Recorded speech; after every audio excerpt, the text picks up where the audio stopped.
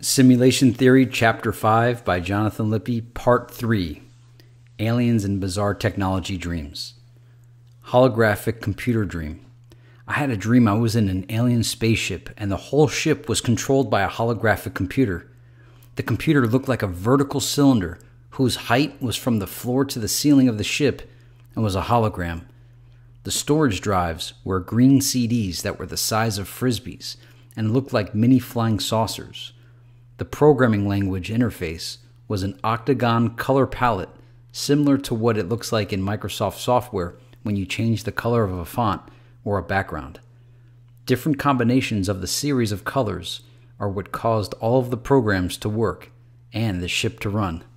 Then I woke up. Aliens on the beach.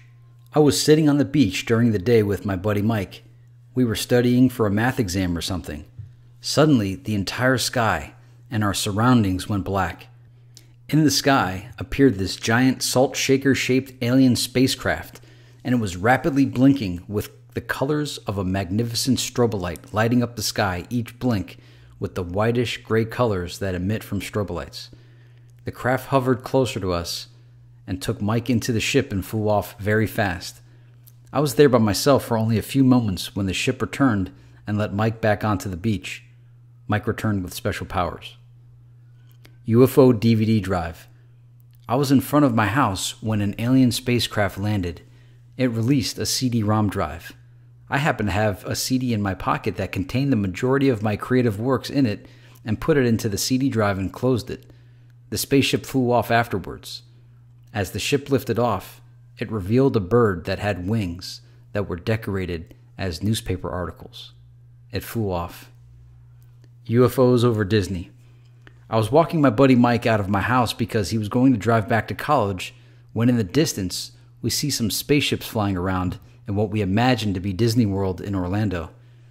I don't think it's possible to see Orlando from Fort Lauderdale, but it's a dream. They hover above Disney, and the one in the middle shoots a laser weapon down like they did in Independence Day. Then they sent down the beam to suck things up, and they sucked up a bunch of stuff from Disney. Then they began flying toward where we live. Mike turned to me and said very seriously, John, are you ready to go to space? I said to him, I don't think we have much of a choice. They flew by, but I guess they had too many things sucked up on board from Disney that they flew away. We called the police to file a report, and they didn't believe us. I asked to be put through to Peter Davenport at NUFORC, but my mouth was becoming incredibly dry, and when Davenport picked up, I couldn't speak because my tongue had become so dry. I woke up and drank some Gatorade. Mini Planet Dream. The front cover to my last book, I Remember Choosing My Life in the Afterlife Dimension, depicted me surrounded by many planet Earths. This cover was inspired by a dream I had. I was walking in an open plain where there were many, many planet Earths hovering. The planets were emitting a gas that was harmful to Earth. Simultaneously, while walking through the planets, I heard a news discussion playing out on television about should we destroy the planets because they were polluting our atmosphere? The debate against destroying the planets were that our own Earth was probably emitting some poison into the solar system, and we wouldn't want someone destroying our planet because of our natural radiation. It was an interesting experience to walk through and touch those planets, and the debate on whether they should be allowed to exist or not was interesting. They just hovered and rotated there in that field. What is a planet? Miscellaneous Dreams China Invasion Dream. I was at a crosswalk in Tampa when I saw a police officer get a call on his radio that said we were under attack by the Chinese, that they had already taken over Washington, D.C., and they had launched an all out invasion on the United States and were about to hit the east coast of Florida.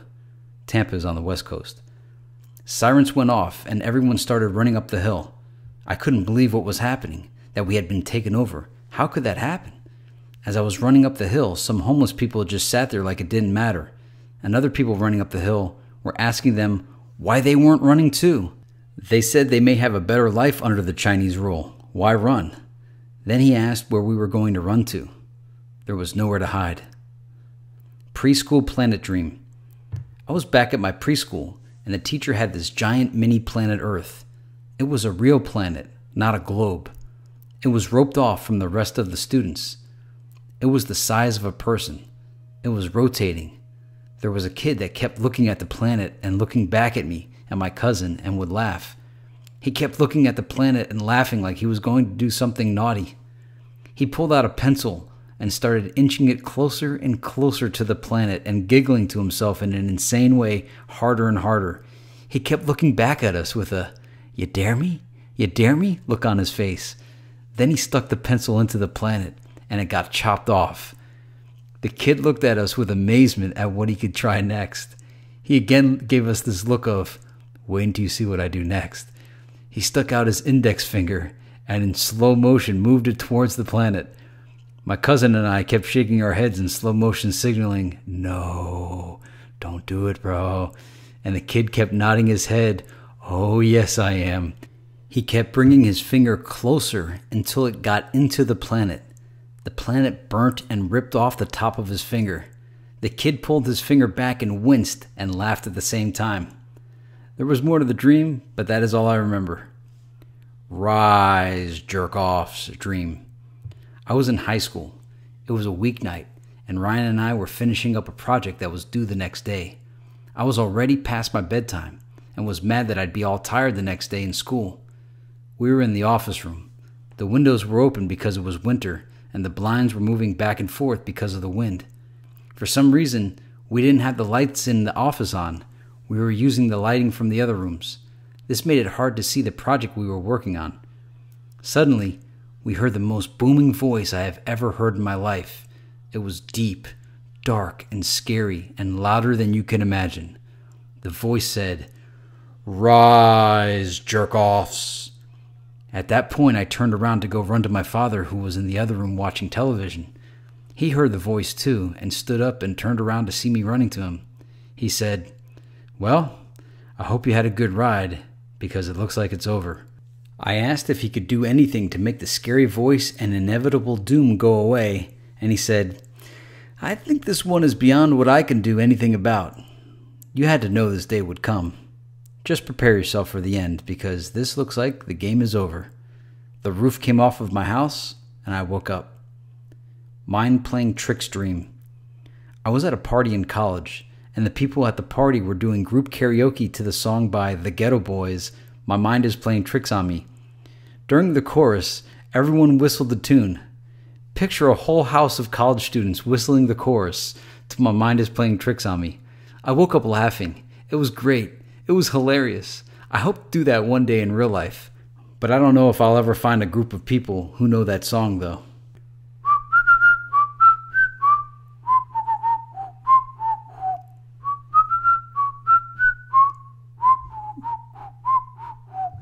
Fire phone dream. Talia had a dream where all of the cell phones had flaming fire backgrounds where you typed the phone number. Club Geronimo dream. I was having a normal, boring dream, and Jeff somehow appeared and he was wearing a cryptic shirt with backwards letters. He said excitedly, Bro, I was just hanging out with Jordan Prizine. We went to this nightclub, but it's like all Da Vinci Code themed with all ancient Catholic imagery. Anyways, me and Jordan start dancing around the room all drunk and we're touching all the neat stuff they had in the place like naked statues. Jordan touches this lever in the wall, and when lo and behold, it reveals a secret room. We're thinking, hell yeah, we're going in. The room we enter is like this secret ritual meeting, and instead of techno music, it's surround sound monks chanting music. Jordan sees this giant Holy Cross jewelry charm, picks it up, runs into the middle of the room, and drops to his knees in a rock star power slide and yells, Christ!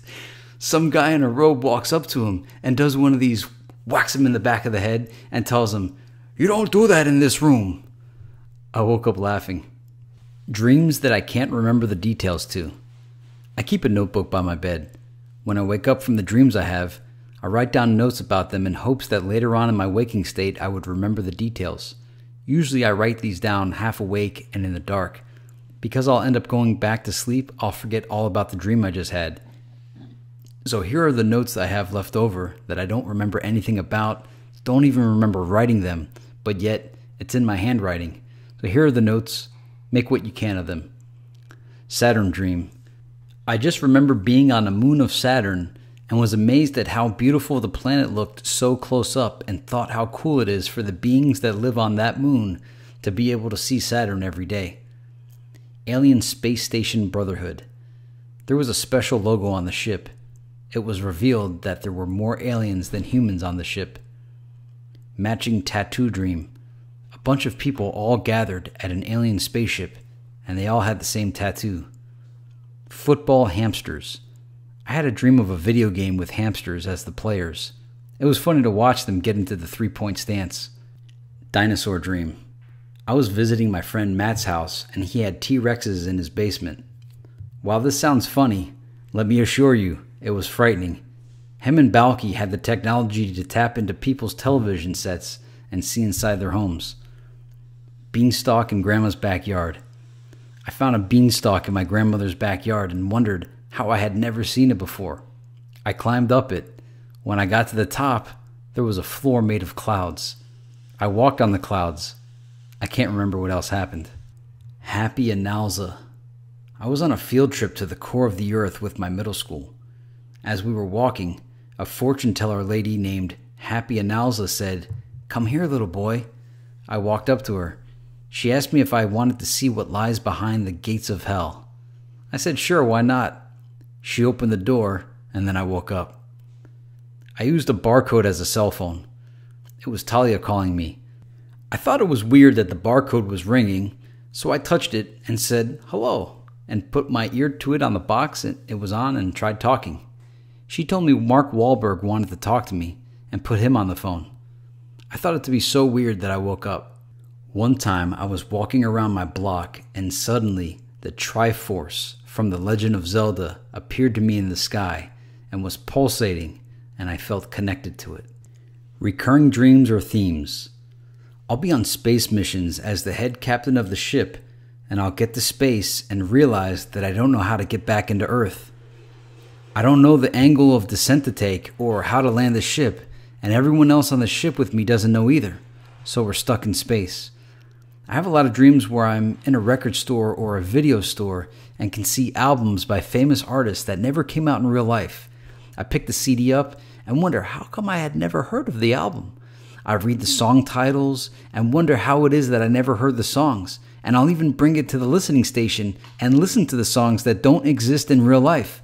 Sometimes the songs are really good, and I'm upset when I wake up that the songs don't exist. The same similar thing goes for movies. I've also played video games that don't exist. It's amazing how they're playable, or the songs are listenable, or the movies are watchable. The plots that play out in these movies my conscious mind would never think of. I figure out how to glide, float, fly, or super jump. I don't get to fly like a bird, but just kind of float. Usually I have a running start. Usually I feel the need to show my ability to others in the dream and try to teach them how. I showed Will Smith that I knew how to float one time. I'll also read books in my dreams. I have no idea where the words come from, but I've read entire chapters in my dreams. I've read ancient scrolls, constitutions, instruction manuals. I've read all sorts of bizarre things. Jeff's dreams. Jeff lives one block from me. There must be something in the water that causes us both to have vivid cinematic dreams. We're both into computer stuff. Most of his dreams are actually better than mine, or just as cool. Writing these, I'm working off of what I remember him telling me from our conversations. Airplanes frozen in time midair, unknown phenomena. Jeff is on an airplane with his brother and parents. Everything seems normal. He's watching the other planes taxi and take off. Suddenly, he notices the plane in front of them takes off, but then gets stuck in midair. He points it out to his father, and his father isn't too concerned about it. Then, their airplane begins to take off. They also get stuck in midair. The captain of the airplane gets on the intercom and says with the calm airplane voice Attention, passengers, please remain in your seats. We are experiencing an unknown phenomena. Jeff is looking around the plane, and everyone is okay with the situation. He is concerned. He uses his credit card to make a flight call on the flight phone attached to the seat in front of him. And in his conversation with the operator, the operator says to him, I'm sorry, sir. I do not have any further information. We are experiencing an unknown phenomena. The lights black out on the airplane, and when they turn back on, he is in an underground quarantine base. Everyone is walking around in biological protection suits. He asks what is going on, and they say, An unknown phenomenon has occurred. At that point, he wakes up. Airplanes crashing. Jeff had a recurring dream prior to 9 11 of a plane crashing into one of the lakes by our house. He said the plane comes so close that he could read the number of the plane underneath, but could never remember it by the time he wakes up. Dead bodies in lake. It is nighttime, and Jeff notices there are FBI agents walking around his house and near his lake. He goes outside to find out what is going on, and they tell him to go back inside. He sees that there are a bunch of dead bodies in the lake They've all sunk to the bottom and weren't floating on the surface. He sees the FBI agents taking the bodies out of the lake, and they notice he is watching and then try to prevent him from seeing what is happening and order him back into his house again. Operation Slip Disc. Neither Jeff, Mike, nor I can remember the details of this dream except that something happened called Operation Slip Disc. Time slowing down. Jeff wakes up and it's a normal day. His mom is cooking breakfast. He sees an envelope on the table that was supposed to contain within it his work schedule. He opened it up, and it contained a picture of a spaceship and a website URL. He went to his computer and typed the URL into his browser. The website contained information on how to build a spaceship. Suddenly, the power goes out, and he finds himself on his bed with his heart pounding. He goes outside. People are walking in slow motion. He walks to the intersection and sees the stoplights are all blinking yellow. I can't remember the rest. These dreams all seem to interconnect somehow. This next dream was emailed to me from Jeff. Aliens Attack South Florida by Jeff. It's a typical South Florida evening, cool breeze and bright moon. I decide to go shopping for a new flat panel TV to use for my Xbox 360 gaming. I arrive at a mom and pop TV shop that is located off of I 595 somewhere and begin to look at the various TVs available. I compare the specs on several units and look into this cool satellite system that they were offering. The advertisement says that it gives you 130 channels of HD content for only $49.99 per month. I think, wow, that's pretty cool, and begin to look at the satellite receiver and cables. I hear the faint sound of car horns, which seem to be constant and think nothing of it.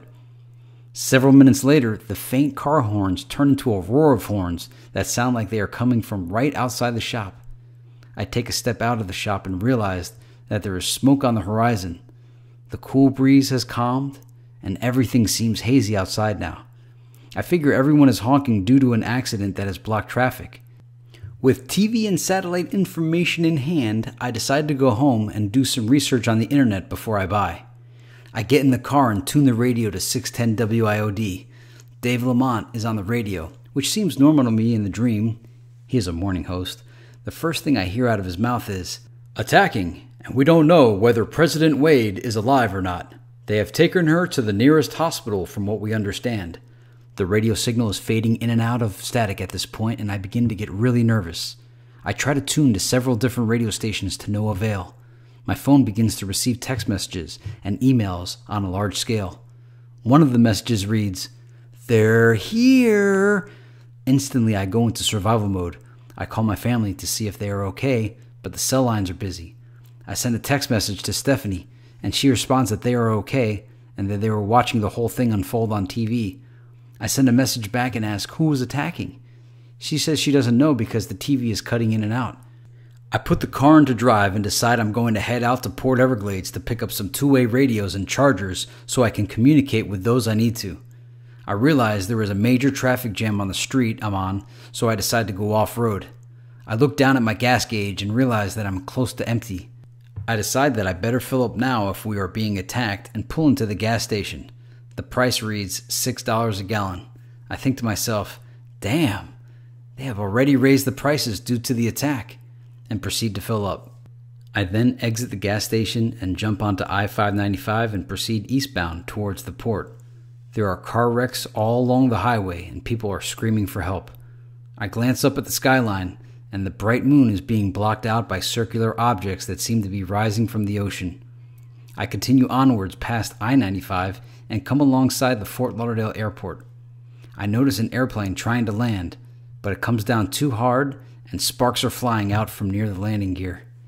I look back up into the sky and see circle like craft rising from the ocean. They are silver and bluish in color, and water streams off them, glistening in the moonlight. My alarm goes off at 5:45 a.m. to wake me for work. This concludes chapter 5 in its entirety. Thoughts from the author. What I liked about this chapter was that the dreams were like short stories. So, just in case you bought the book in hopes of reading a story, you at least got this chapter where it was fiction. Because I know a lot of people bought it and they were expecting like a science fiction novel, and they got what was presented like a nonfiction novel. So, at least this dreams chapter is a whole bunch of short stories. It's amazing how they all have so much detail to them. This chapter provides diversity, and I think I had mentioned it before how the book is kind of like a variety show, and this chapter certainly is uh, unique in its own right. I think it's good for everybody should capture their dreams. You know, you never know what kind of clues you'll find out about your subconscious. Um, for me and and Jeff, uh, we just have really cool dreams, and they're fun to have, and it makes it really hard to want to get up in the morning because you just you don't want that dream to end. They're so entertaining and interesting. Not that real life isn't interesting, but it's it's a lot less effort to just dream and watch it. Uh, the rise jerk offs. I don't know if like that came from that video game Altered Beasts where it goes rise from your grave. Who knows? But that rise jerk offs that sounded so scary in the dream. Uh, you know, a lot of these dreams date back to the late 90s, which is crazy. Reading some of this or hearing about the technology, CD ROM drives, it's pretty cute. And by now, you know, this was published 0709. And since then, I've had so many more dreams that I've put some on jonathanlippe.blogspot.com, but others are just sitting in Microsoft Word documents that eventually I'll get around to compiling it all. And I'll probably make another video at that point to, uh, because some of the newer ones they're a lot cooler. You know, they're in my 30s, so they're pretty cool. Uh, but be on the lookout for those. I like I said, some of them are probably on that jonathanlippe.blogspot.com. But the dreams in all these chapters or all these parts to chapter five have have been very enjoyable to reread. I haven't read this chapter since you know 2009.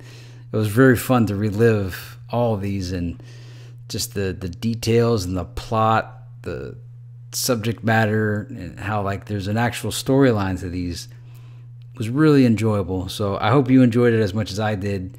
This was very enjoyable to share. You know, a lot of people are are you know they don't like sharing their dreams out loud because they don't want to be seen as weirdos. I'm already seen as a weirdo, so you know whatever. What I'm saying to people is, hey, express yourself because we don't even know what reality is. If you if you're scared what people think, check their belief system because everybody walks around as if we have everything figured out science, religion, whatever you are. You think you got it all figured out and you know nothing. All of us know nothing. There might be, you know, a group of people, a very small amount that control all of society that know everything, but the masses, the majority of us, we have no idea. So you might as well be yourself. You're going to die anyway. So why die with everything bottled up? Express yourself. That's what Madonna and NWA, Dr. Dre, they all say express yourself. I've been expressing myself to my full capability, and now I'm living in correctional facility. No, I've been expressing myself uh, for a very long time. I think I started in eighth grade, you know, just not caring about what society thinks, and life's been a lot more liberating for me since then. You know, instead of having to conform to societal norms you can't win. They always win. They get to dictate what's real, what's not, what's normal, what's weird, and you can never live up to their standards. So you might as well just create your own. That's what I've done. If people think this is weird, I'm having so much more fun than they are. I could just go to sleep and have a good time. But in my waking life, I'm having fun too because I'm always expressing everything gets off my chest. I don't have stress. I could, you know, uh, I publish Life is for creating. You're supposed to create. And part of creation is expression. That's what creation is. So, express your dreams to your friends, and maybe they'll share their dreams with you. And, uh, you know, you never know. You learn about your subconscious there. I mean, apparently, obviously, space, time travel, aliens played a big part into my dreams. But really, those are just the sensational ones that I captured. You know, I have a lot of normal dreams too. They're just pretty boring. But these were the ones that had like, they were worth writing about. The boring ones, why would I waste your time? Last night I dreamed about having a cupcake and it tasted good, you know? So that's, uh, this is chapter five. Like I said, thanks for participating in it with me. And chapter six is entitled Creative Ideas You Can Use. So I'll see you then.